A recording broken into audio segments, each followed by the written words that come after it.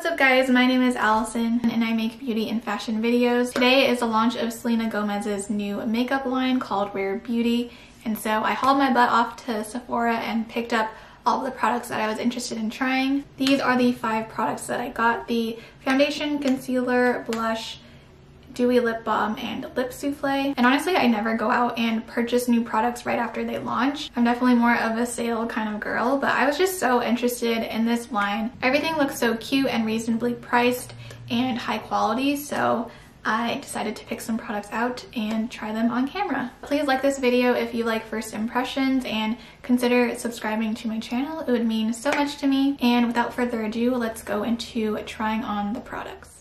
All right, I am back from Sephora. I ended up picking up five of the products from the line. I got the foundation, concealer, the blush, a lip balm, and the lip souffle. The primer seemed really nice, but didn't really seem like something I needed. Same thing with the mist. And I actually have sensitive fungal acne prone skin, so a lot of the complexion products are probably to break me out so I only got the foundation and concealer. The brow product didn't seem that appealing to me and same thing with the eyeliner. I also decided to pass on the highlighter because the colors didn't really seem that appealing to me and I'm not really into metallic liquid highlighters anymore. I like something with a really fine pearl and just reflection. So yeah, I mean, she came out with a huge line of products and honestly, the majority of it seems really good. The prices are actually quite reasonable for a Sephora brand as well. The five products that I got was just over a hundred dollars, which I mean, I've definitely spent a hundred dollars on like two products at Sephora before. Definitely pleasantly surprised by that. I think this slightly lower price point, but still having really high quality products is really gonna make this brand super popular. Okay, so for the foundation and concealer, I picked up the shade 190W in both. This is the shade that I figured I was going to be by looking at stuff online. I did swatch it on my hand when I got home a little bit earlier, and it does seem like it should be a pretty good match. I honestly got more confused when I went in the store and asked the employees to swatch the shades for me because they swatched the colors on this like plexiglass and it just really makes the texture and the color a lot harder to perceive than if you had just like swatched on yourself, of course. I am very excited to try these out. If you are a returning subscriber to my channel, you're probably wondering why is she getting a non-fungal acne safe foundation and concealer? And the reason is I don't have a good excuse. I'm just kind of in denial that I'm gonna have to deal with fungal acne for a long time. So I'm hoping that I'll be able to at some point use these products without breaking out and I still just wanted to see how it performed on my skin because it just seemed like a dream in the reviews that I've seen. When I saw the product line come out, I was definitely drawn to the Lip and Cheek products the most. But yeah, after I watched some reviews, pretty much everyone said that the foundation and concealer was their favorite product from the line and the most impressive one. So let me zoom you in so we can see how the product applies. I also honestly wanted to try the brushes, but I was like, no, you're, you're buying five products from the line. You don't need brushes because I don't actually use brushes to apply foundation ever. So, um, but I do actually kind of want to try it with some of the brushes that I already have because it does seem like the formula applied really well with the brushes. So I think I'm gonna go with concealer first. That's typically what I usually do so that I don't need to apply as much foundation on top. Love the little packaging on all of these guys. Apparently the little circles on the packaging are not just for aesthetics. They are designed so that people with arthritis can actually use them and use like their palm to open the product rather than having to use your fingers to twist it off, which I thought was really cool. I absolutely love that they were able to add this feature that just adds accessibility to the product but do so in a way that appears to people as just like a nice aesthetic touch. So here's what the concealer applicator looks like. And I'm just gonna start with a little bit around the face. I'm gonna try to use a brush on the left on this side of my face and then we'll go in with a sponge on the other side. This is like a little Real Techniques eyeshadow brush, but it actually looked kind of similar to their concealer brush. Oh, I totally forgot I was going to apply some more moisturizer to prep my skin, but my skin still feels pretty moisturized.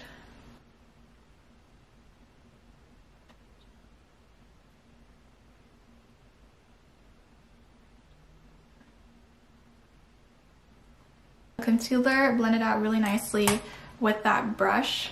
There's definitely a good amount of coverage in that concealer, probably like a medium coverage, but it looks very skin-like. And then now I'm gonna take the sponge on the other side.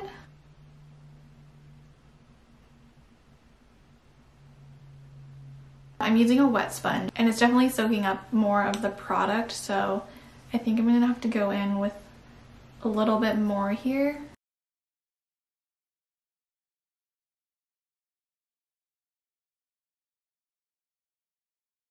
Okay, so here's a little bit of a close-up of just the concealer on my skin. It's definitely not perfectly blended out, but I'm gonna wait for the foundation to kind of help blend everything together. The concealer definitely has a good amount of coverage, but it still has a really nice skin-like finish. So I do think with a sponge especially, if you just wanted to use concealer and go foundation free, you could totally do that. I do actually like the side with the brush. I think this is just like a general thing on technique, but I do feel like I was able to get a more precise coverage and cover the spots that I wanted to. And since I am going in with foundation after, I wasn't too picky about completely making everything seamless. The brush does seem to work really well with the formula.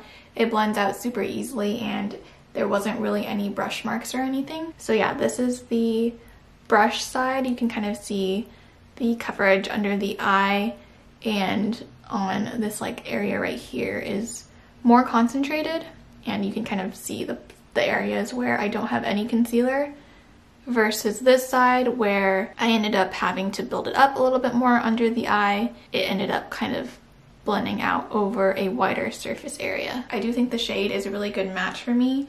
I don't like too bright of an under eye, but if I wanted it a little bit brighter, I'd probably want to go up a shade or two. And then now let's go into the foundation. So the foundation also has a large doe foot applicator.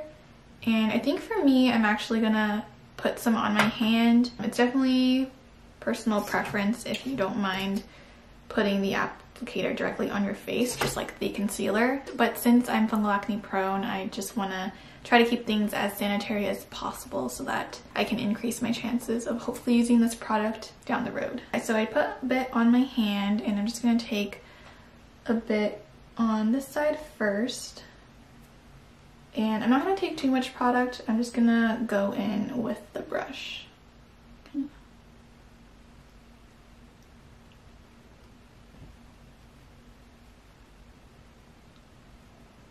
The shade looks like it might be a little dark and warm for my skin.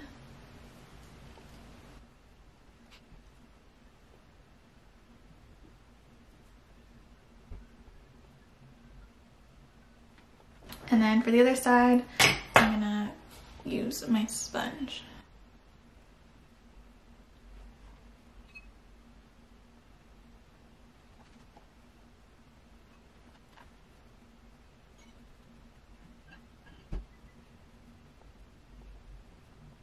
I ended up going over this side with a little bit of the sponge as well, just to pick up a little bit of the extra product because I do think I prefer applying a little bit less of it. I would say the foundation and concealer give a solid medium coverage and it looks really nice on the skin. It's not too dewy, but you can definitely see a bit of this glow. And I didn't use the illuminating primer or any other special glowy skin prep. It does feel really lightweight on the skin, especially for I feel like the amount of coverage that my face has. And my face feels a teeny bit tacky. All right, so here is a close-up of my skin.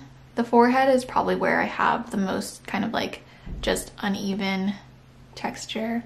And then I have a couple of spots around the nose. The side where I used the brush looks a teeny bit more cakey, but actually pretty good. And then this side looks really nice as well with the sponge. I didn't use as much product there. So yeah, overall, I think it looks really good. It definitely gives off more of a natural makeup vibe while still giving you quite a bit of coverage. I personally like a very light coverage in my base, so I would probably even use less foundation. You can see a teeny bit of creasing right here on my lower lash line. So I think I'm just gonna powder it ever so slightly. I really wanna apply the products how I would normally wear it. So I'm just gonna put a little bit of powder under the eyes. This is the Hourglass loose powder. Also gonna apply a little bit around the nose, on the chin, and then I think I'll leave the T-zone unpowdered. Okay, so now I wanna try the liquid blush. I think it's called the Just a Pinch blush, um, but love the packaging on these. The caps are gold. I think it's really cool that she came out with a matte and dewy formula for the blush. I've never tried a matte liquid blush but to be honest if I'm going to use a liquid blush I would definitely want it to be dewy. So there was really only one shade that I was drawn to which is Joy. It's like a nice bright coral color. At this point I do feel like I have quite a few liquid blushes but this one just looked so pretty and I really wanted to pick it up especially for the packaging. So we'll see how it stacks up against my other liquid blushes eventually, but I am excited to try this out today. Again, it comes with a doe foot applicator and from what I've seen, one dot per cheek is gonna be more than enough for me. It's a super pigmented product, which is really cool because that means it's going to be able to work for a lot of different skin tones. Okay, so I just did one dot per cheek and I'm gonna use this brush to blend it out. Oof.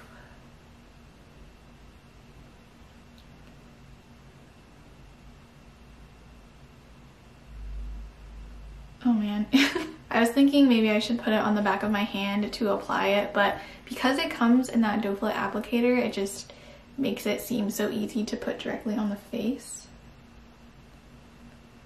Okay, definitely gonna have to use a sponge. The color is really pretty actually. It reminds me of one of my new favorite shades of the Nudestix blushes. It's called Salty Siren and it's like a really pretty peachy coral like this.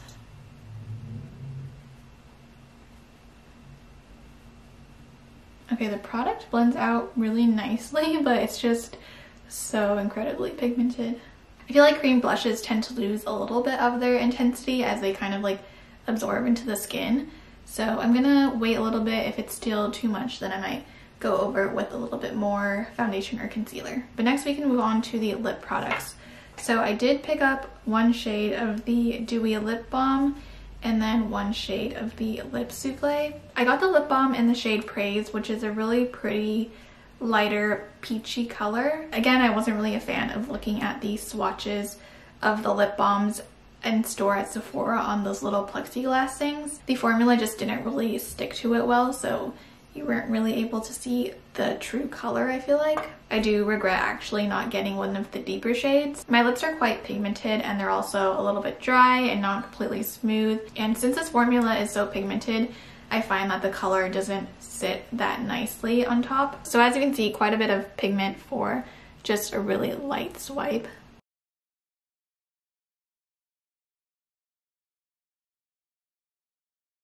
I do think the color is really pretty, but let me just show you up close.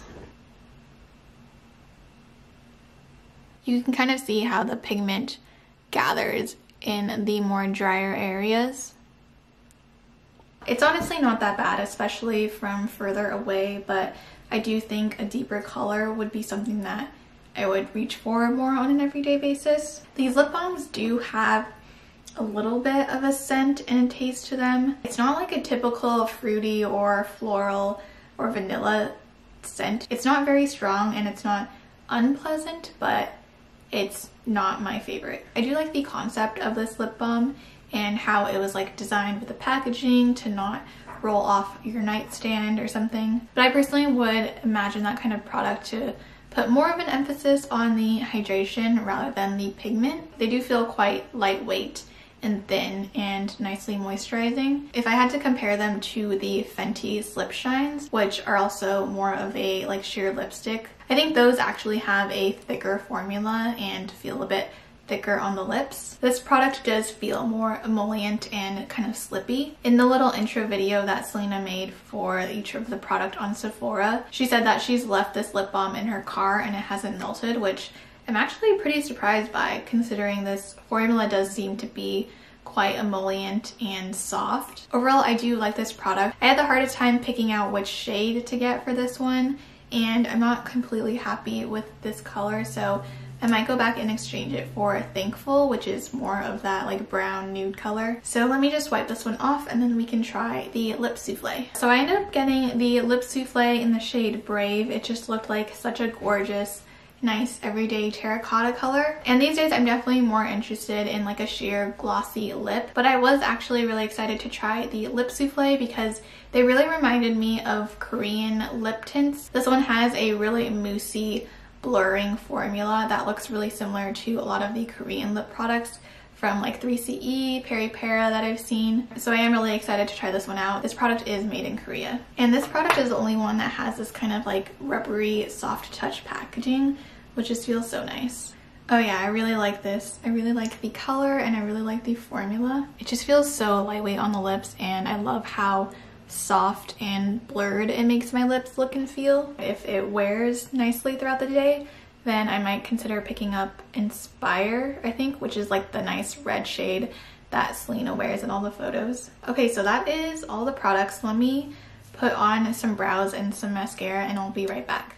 All right, the rest of my makeup is complete. I decided to put on a little bit of winged eyeliner and I really like how my makeup looks. The blush is definitely a statement. I would probably tone it down a little bit more on an everyday basis, but I feel like it really kind of completes the look. I did add a little bit of bronzer underneath to give my face a bit more shape, but overall I think everything looks amazing. I actually think the foundation match is fine. Let me do a little roundup of the products that we used and my final thoughts on them so far. So I think my favorite product out of the bunch is the concealer. I think the color just worked really well for me and I really liked the amount of coverage as well as the finish that it has. It reminds me a lot of the Kosas concealer that I tried pretty recently. I did stop using that product because I felt like it was breaking me out, so we'll see if this one does the same. But yeah, I have pretty dry skin and it's hard to find something that looks so nice under the eyes and in this area right here. I feel like that is where the dryness is the most emphasized by makeup. And I feel like those areas of my face look really good right now. Again, here is a close-up now that all the makeup has kind of settled into the skin. But you can see that it looks really nice and covered.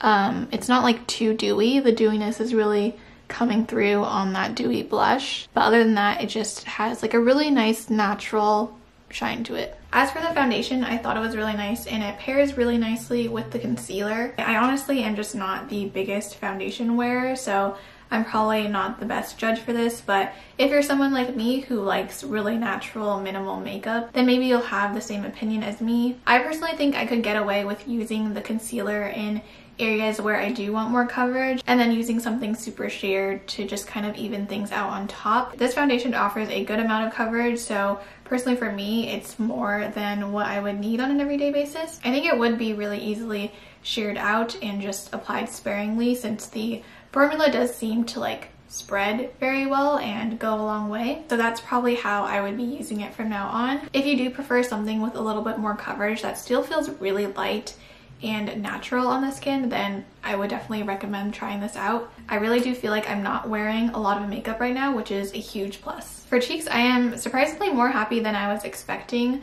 with this dewy blush. Again, I got the shade Joy and it reminds me kind of like of Glossier Beam as well as the Nudestix color in Salty Siren that I mentioned. It's just a nice bright coral color that I think is super flattering on the cheeks. If you're on the lighter side, then I actually would recommend putting this on the back of your hand and then picking up some of the product with a sponge or a brush so that you have less pigment and a lot more control on where to place the blush. My skin overall still feels pretty much the same as after I applied the foundation, which was just a little bit tacky. And in the areas where I have the blush, it doesn't really feel extra tacky. I think the finish on these blushes is spot on. It's definitely dewy and skin-like, but it's not too crazy and oily looking. To compare it to some of my other favorite liquid blushes, I would say the Em Cosmetics and the Physicians Formula one are more dewy than this one. I think the finish is probably the most similar to my Flower Beauty blush bombs, but those are nowhere near as pigmented as these are. I really hope Selena expands the shade range on these blushes because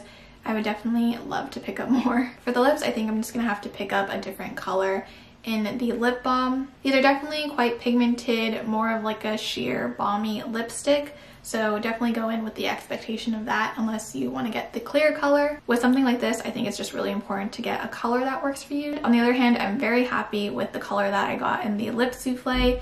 Again, this is the color Brave and it's like the most neutral terracotta color that they have. It looks super nice on the lips and really does remind me of those Korean velvet lip tints. The color has definitely dried down and it has just like a slight powdery feel to it. feels really soft and smooth.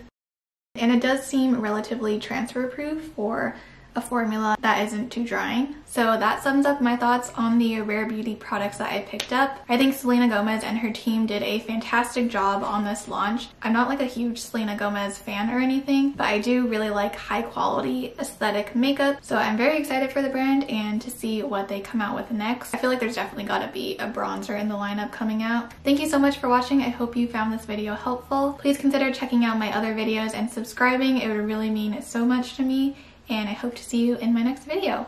Bye!